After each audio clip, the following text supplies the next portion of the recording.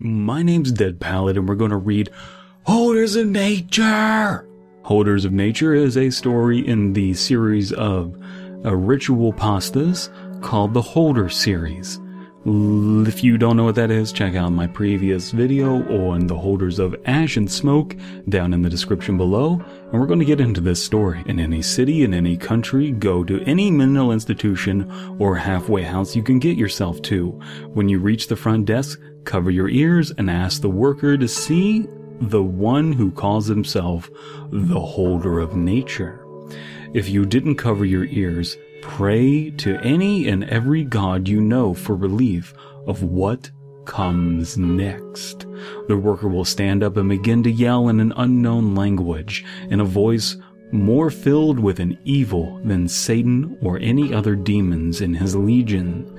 To hear his voice clearly would corrupt your mind instantly, leaving you to suffer a pain far greater than the fires of hell for the rest of your life.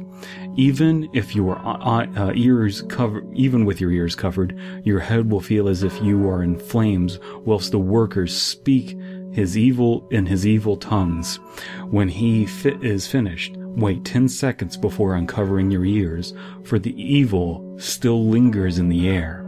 After 10 seconds, uncover your ears and put your hands on your forehead, saying, In the beginning. Okay, so there's nothing too nature related about uh, the, the holder of nature so far. Uh, hopefully that that will change in in the near future. I hope that there is more to this that is nature based. But this was some downright demonic shit. Like, what if you go to like Popeyes and they're out of like the chicken sandwich you want, and then you start saying shit like this? You're just like, you will know the pain of a thousand Satan sons for, for, for eternity, and your head will explode, and I will bring upon the like all of this shit. Uh, it's it's uh, it's not as fun as the the smoke and ash one that I just read. As you finish saying this, the worker will open his mouth, and a portal will appear. Oof. Uh, should you step through this portal fearfully, he will close it, and you are only halfway. You're only halfway though, trapping your soul in the dark abyss that connects the dimensions for all eternity.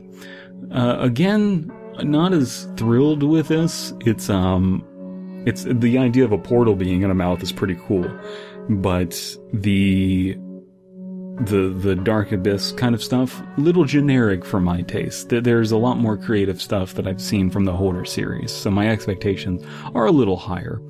Uh, this this is kind of the stuff that i don't like about the holder series is when it kind of gets when it's using the word abyss essentially uh, if you make it through safely, though, you will find yourself in a garden. Now, now we're getting some nature.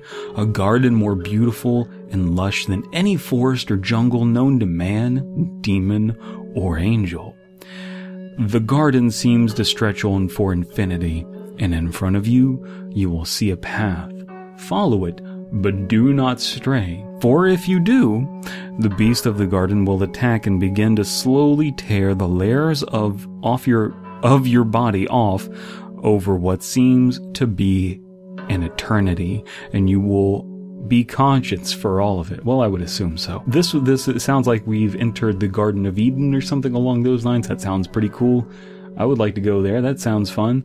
Kind of wish we got a little bit more of this earlier on, just a touch of it. But the, these are this is the strongest part of the the ritual so far. After what seems, what may seem anywhere from five minutes to five months of walking, you will come upon a quaint home. Knock on the front door, and if you should hear a voice saying, "You're not welcome here, stranger. Get out of here, stalker." Strange, strange. Many memes they can be made out of that joke. Um, there is no hope for you. No praying will save you here. Your death will be horrible. If you hear a voice saying, "Please come in," uh, you may open the door and go in. Uh, he has welcomed you. So apparently, you just got like a 50-50 shot here. Th- th- there's not as not the risk reward you get in other places, where if you do everything right and you uh, you know, have the test of nerves, the test of patience, and all of that stuff, you're good. Here, you just got a 50 50 shot. which is unfortunate. Maybe this one is more important, uh, but it seems more random than the other ones. I'm, I'm not so, so happy about that. Uh, inside, you will see an old man in a rocking chair reading by the fire. He will only respond to one question What started it all? The man will begin to change his shape right in front of you. His the wrinkles on his face and arms will begin to fade, and his muscles will begin to take shape as he's getting much younger. He will stand up and ask you to come in. Don't. Uh, as much, sweetie, don't. Uh, as, as much as he may tempt you to do so, do not. Uh, when he asks you this, stare directly into his eyes, and without breaking eye contact, oh shit, I fucked up, inquire once more. What started it all? Hmm, come on, tell me. I want to know. Don't give me that shit.